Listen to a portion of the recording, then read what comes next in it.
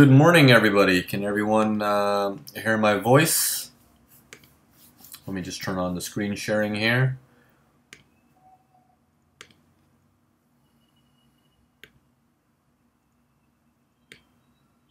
Yes. Where's my MT4? Okay, yes, audio and video is good. Okay, great, great. How is everybody?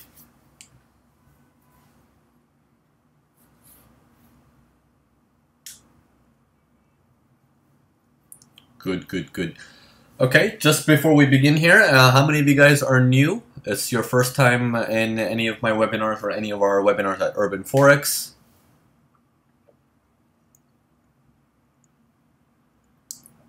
Raul Smith, Minto, Paolo, Dan.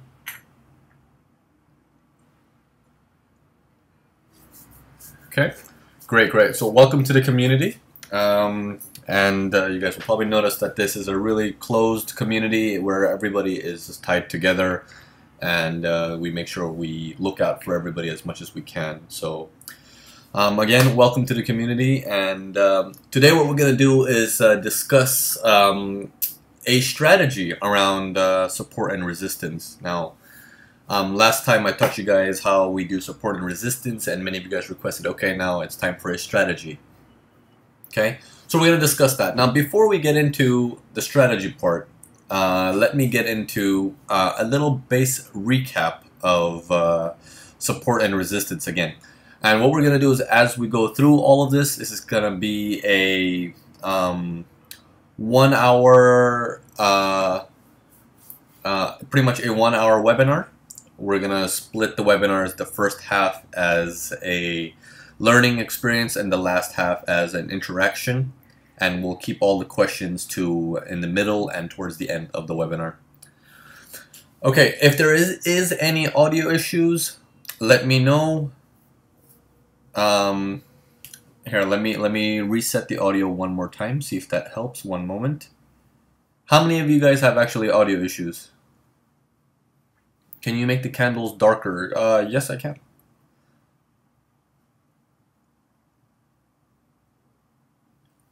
Okay, I've reset the audio. It should be fine. If it's still not fine, um, this is recorded, so not to worry there.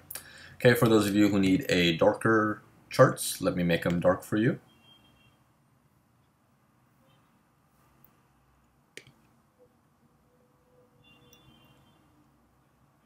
All right, great. Yeah, um, sorry, Mark, but uh, it's recorded, so uh, not to worry there.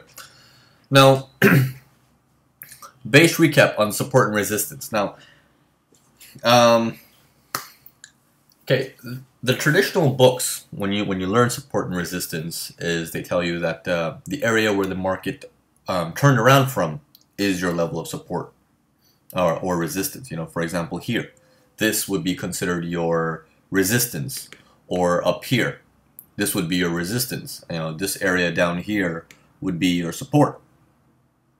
Okay, now, this is the traditional saying that this is your support, this is your resistance. Okay, um, anything below the current market is called support. Anything above uh, the current market is called resistance.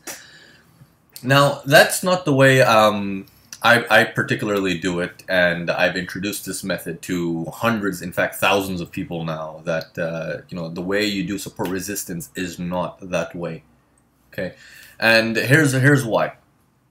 Support and resistance, like anything else, works with level of strength.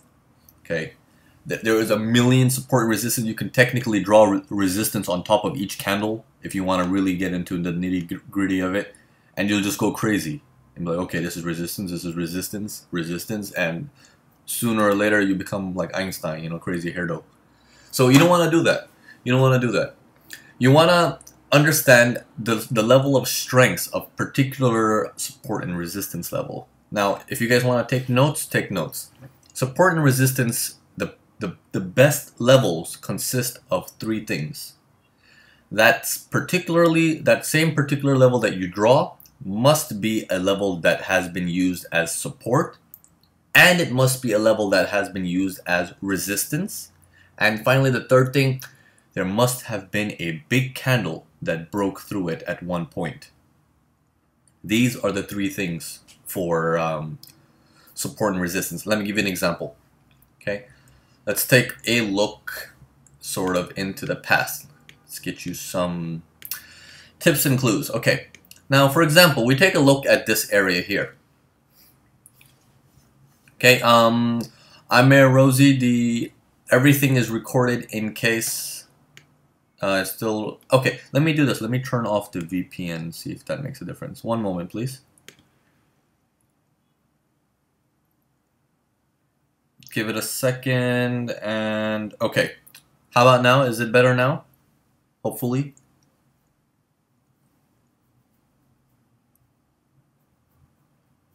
Okay. I'm going to repeat this one more time and we'll see hopefully it's better or not. If not, just wait for um, the recording. Okay, the three things for support and resistance. Information, uh, okay, the first thing. The level that you draw must have been used as support. It must have been used as resistance. Okay? And last but not least, there must have been a big candle break from this level, which indicates this level being strong. Okay, let's go through this example. Now, how, how are you supposed to draw support and resistance? Is it just this tip here? Okay, the answer is no. Support and resistance can range from the body all the way up to the tail. Okay, what is a tail? A tail is basically telling you that the market tried to push, but it could not close her. It came down and closed. So if I draw on this particular body, at the top of this body, do you see any single body coming out of this area?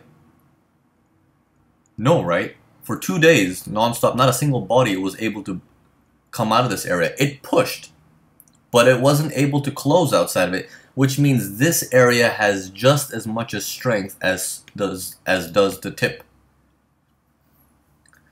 This is how you create a range. You always need a range when you're drawing support resistance. It is not the traditional one line method that is taught.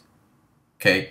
Because if I say the support is at 1.2555, your chart 1.2555 is not the same as my chart.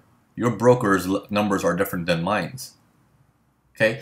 So you always need a range to get a sense of idea, okay? Our charts might be different, but it's not going to be 100 pips of difference. It's going to be a few pips. This is why you always need to have a range.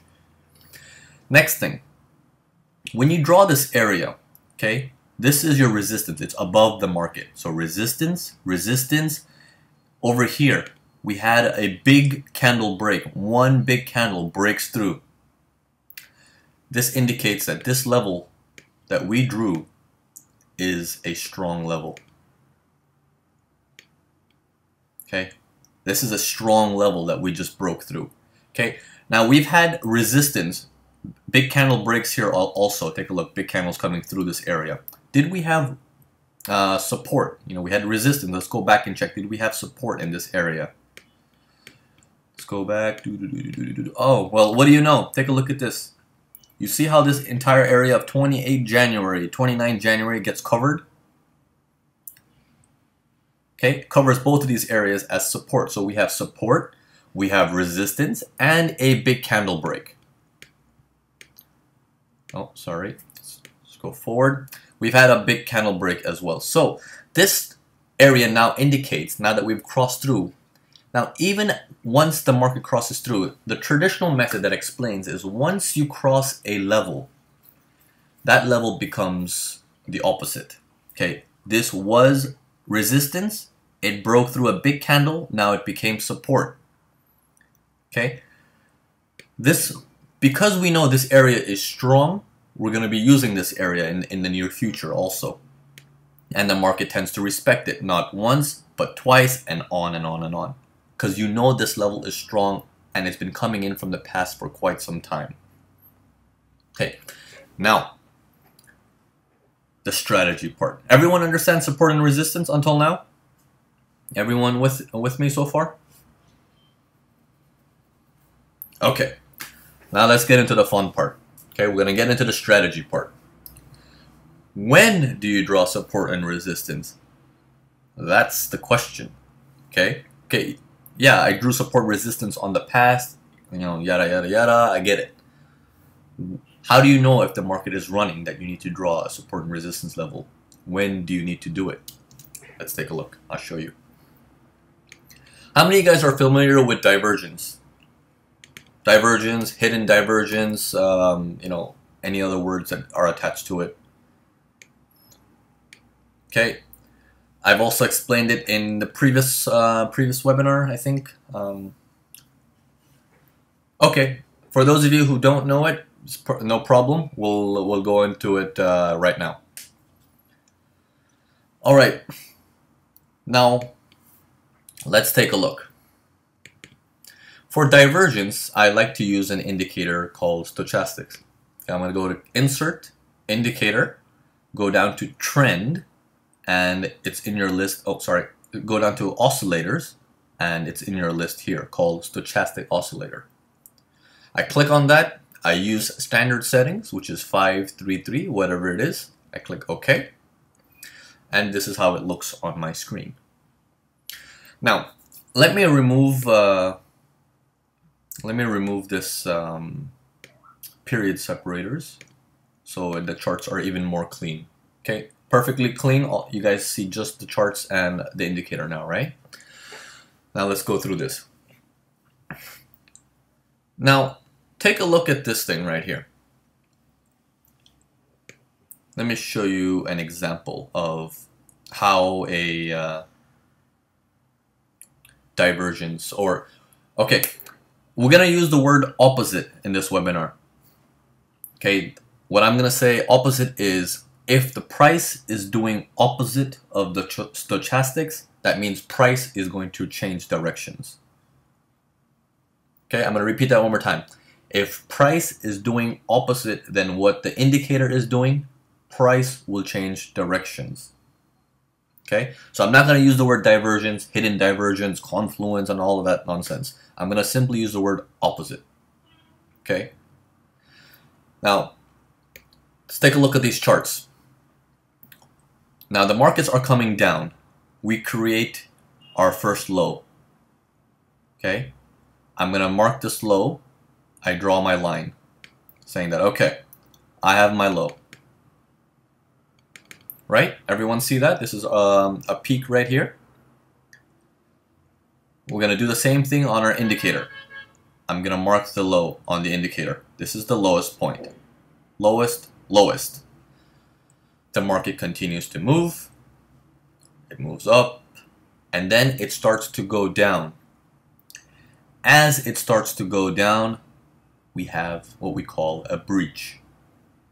We've gone below our recent low, right? We've crossed. Now, is that the same case in our um, indicator? Have we crossed below this line at any time? No. We don't have the breach here. Since we were going in a downward movement, we're going to connect our bottoms. Okay, When you're going in an upward movement, connect your tops. When you're going in a downward movement, connect your bottoms we're going to connect our bottoms. Okay, from this is our first breach, it was here. And we're going to do the same with our indicator. Around that time, the market was here or so, somewhere, let's say. And you can see that the price is telling you it's in a downtrend, while the indicator is telling you it's in an uptrend. What we have is opposite. When you have opposite, market tends to, price tends to change directions. Okay, in this particular case, price was going down, boom, price changes and goes up. This is just a, just an example I'm showing you right now. I'm going to go in through one more example and then we'll get into putting this together with support and resistance. All right.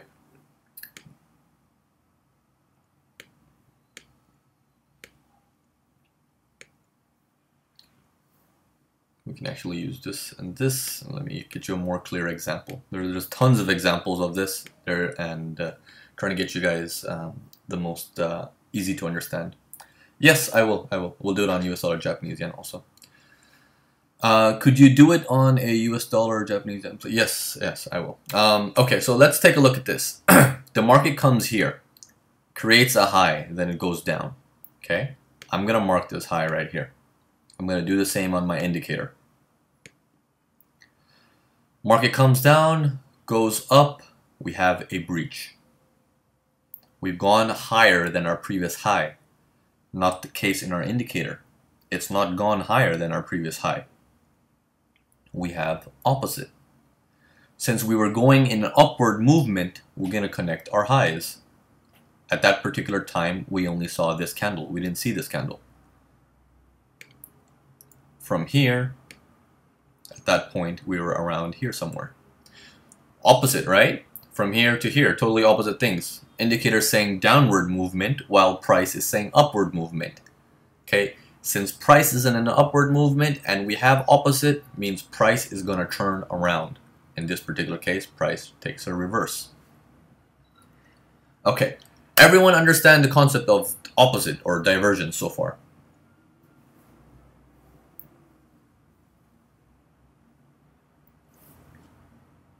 Okay, now let's put this into action. I'm going to remove this line since we already know there's a divergence now or opposite and we see it's clearly at this point we have this information. Um, the timing is actually immediate but um, Mark will explain that situation to you. Now when you have the situation of opposite remember if you're just looking at this information of divergence what happens is you're relying on your indicator, which is deadly. Never rely on your indicator. Okay? Now, in this particular case, the indicator is at this particular moment when this candle actually went up, the chances are the indicator didn't cross. We don't know if the indicator is going to go down. What if the market actually continues going higher and the indicator continues going higher too? You would never know that this is a divergence then what you do is you need to, at this moment when this happens and you're like, hmm, there is a possible divergence, start drawing. Mark this area with your line and check. Is this an area of support and resistance? Let's check it out. Let's go into the past and see what is this area. If we can get that far. Let's see. Should I shrink it more? See if that helps. Maybe four hours charts would help. Wow, okay. We don't have any data going further back other than probably the daily charts. That's okay. This example is going to be a little bit difficult to explain, but let me use an example that we did today earlier for um, Forex Watchers people in our conference room. What time frame do you draw the line? You, you begin with one hour and you work your way up. I'm going to explain to you guys that thing right now in, in our conference room at Forex Watchers, we were looking at the four-hour chart today on uh, Euro USD. Okay, this is in fact why I have a trade running. Now take a look at this. I'm going to remove all these lines. I'm going to zoom in a little bit more. Take a look at this. We have a high here. We mark our high. We have a high here. We mark our high. Price is going down as it's coming upwards. Price is coming upwards. Indicator comes up. We have a breach. Now, we have a breach on the indicator, but we don't have a breach on uh, our price. What we're going to do is we're going to draw, since we're going upwards, we're going to draw our tops from here to at that point was here. We're going to do the same with our tops here, from here to this area. Does that look like opposite to you?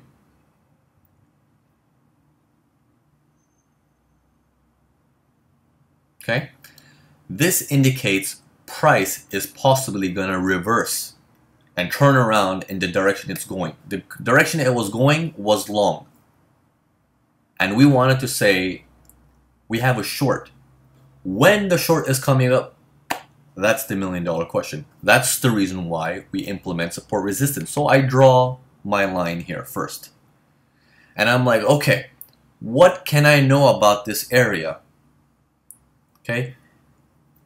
Yes, um, George, in a, in a downward movement, you draw the bottom. See, you see how price is moving upwards here? As price is moving upwards, you draw the tops. If the last immediate trend, if it's moving downwards, you, drew, you draw the bottoms. Does that make sense? Okay, we'll, we'll do more examples, don't worry. All right, now, so I draw my line here as I see this um, potential divergence because I don't know um, that the, the stochastics is going to cross or not. I don't know if it's going to do that. All I know, all all I can assume is maybe the market continues going long and then it's no longer a opposite. You know, so I draw my line here. I'm like, what is so significant about this area? And then I check. Okay, so I draw my range, right? I take this area, maybe I take the tail also, and I start refining by looking in the past. I go back and I'm like, okay, we have a big candle coming out of here. We have a big candle coming out of here. We have resistance. Let's take it a little bit lower so we can cover the bodies. Okay, we have resistance. We have support. Let's go further back. Ah, okay. So we have support. Again, we have a big candle break. Again. Okay, interesting. Let's go further back. We're going, we're going, we're going. Where are we going to end up? Okay, now the next question you guys are going to ask me, how far do you look back? You know, I get this question a lot. Um, it's up to you. Uh, until it takes you to satisfy yourself. Okay, big candle breaches here, big candle breach here. Markets halt right here. Markets halt above or below, but during this period you have big candle breaches. Remember, a big candle breach indicates a strong level has been broken. Okay, let's go further back if you want. Okay, take a look at this. Complete support. We're going all the way to 16th of November. Yeah, until three rules are done. Once you have three rules, you're good. You know, we, you have support, you have resistance, you have a big candle break, and you're up in 28th November. So this level has been holding all the way back from last year. You know, it's not it's not really magic, but uh, you know that's it. So you come back down to the current um, current area, and you're like, okay, this is my area I want to sell from. So we took a sell. And the markets are now headed short. Everyone with me so far? Everyone understand this concept?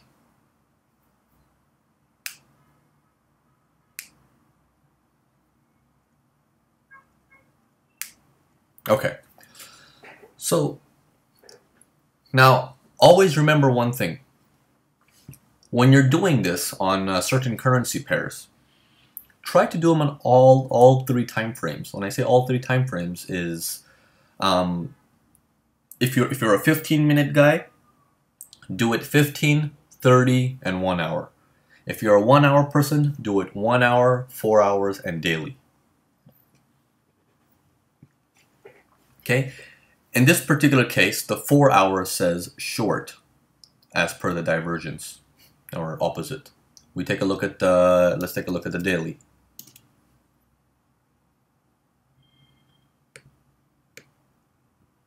Okay. Do we have any sort of information on the daily? Um, Vadi Villain, you can uh, check out the video again. Maybe that will help you if you watch it a couple of times. Okay, markets are going down. If we draw a downtrend here and we draw a downtrend here, it's the same, right? Our indicator and information is saying the same thing. Okay? So, basically, our daily chart has nothing confusing. Our four hour charts have opposite information. Our one hour charts currently has nothing, but take a look at this. We have a bottom here, right? Um, Kumar, uh, one hour and above is my preference. We have a bottom here. Do you think we might have a possible breach? Hey, it's possible. If the indicator goes below this area, that means we've gone below our previous low. But on price, look how far the previous low is. How far is that low? That's like 46 pips away.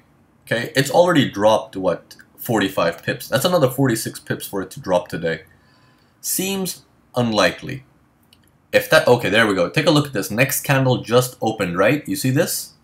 Do we have a divergence now, or an opposite? We have a breach live in front of us. Everyone see it now? Okay. Now, what is the next thing we do? Now that we see this breach, what is the next thing that we do? Check support and resistance. Very good, Kang. Uh, is it Kang or Kong? Which one? Uh, I'm sorry if I'm saying it wrong. All right, so I draw my first line here. okay. If I'm saying it wrong or just correct me. Alright, I draw my first line here. I'm like, hmm, I wonder what is this area? Do you think the market's going to stop here? I don't know. Well, let's check. We have some resistance. We have a big candle break. So we have this piece of information. What about our support? Okay, so now, oh, let me remove this bottom line, sorry. Okay, we can refine this a little bit. Let's bring this a little bit higher here. Okay, and we need to get our bottom area too. Okay, now we're covering a lot of grounds. See here? Hello, Will. Now we're covering a lot of grounds you see here. We have a big candle break, big candles coming out of this area. Uh, that's okay, Will. Uh, you can, you can. We're recording it, so not to worry.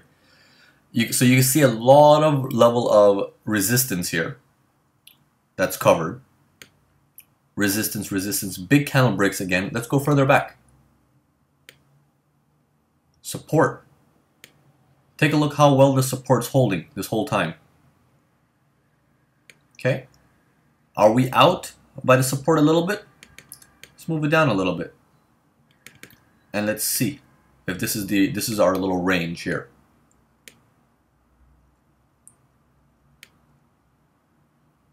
Okay. Okay, it looks a little bit more messy like this, but uh, I'm going to move it back to where it was. Okay, this seems to be my ideal spot, right?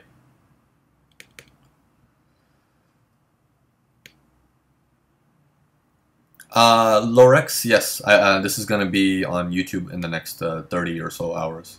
It'll be on YouTube. And yeah, if you're watching this on YouTube, please like the video and comment and share your feedbacks.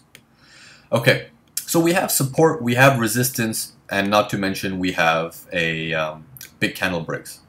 Okay, this area holds again and again and again in the past, in the future, uh, not in the future as of yet. But this area just keeps holding and breaks by a big area, a big candle. So my initial thought process is this is the area that I'm expecting the markets to go long from. Does everyone uh, see how I came to this conclusion?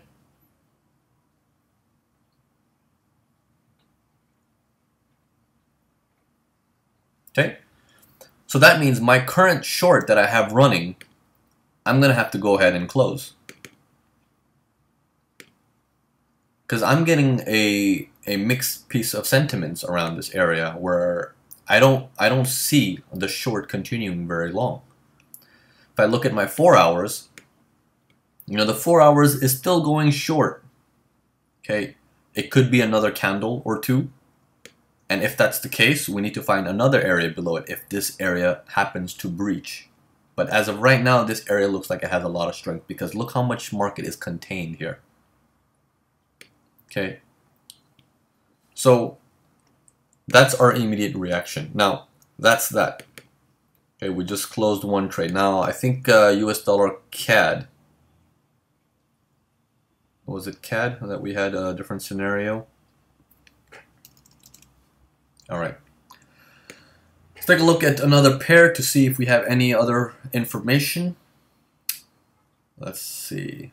US dollar CAD. You want to look at uh, pound? Okay, let's take a look at pound.